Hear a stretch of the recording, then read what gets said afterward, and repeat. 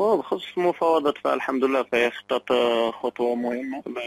خلال الفريقين يعني تقريبا اتفقوا المبلغ ديال الانتقال يعني أمس كنت تواجد في مدينة الرباط باش نوقع العقد مع فريق الجيش الملكي صحيح أنني صراحة وقعت العقد لمدة سنة لحد الآن. فالفريق المغربي فاسي كيتسنى يتوصل بالمبلغ باش يتم موافقة الانتقال النهائي ان شاء الله فريق الجيش الملكي يعني فريق كبير ومش ما يستحقش المكان اللي هو فيه وخصوصا انه كي كيمتلك مجموعة من اللاعبين اللي اللي معروفين على الصعيد الوطني عندهم خبرة كبيرة.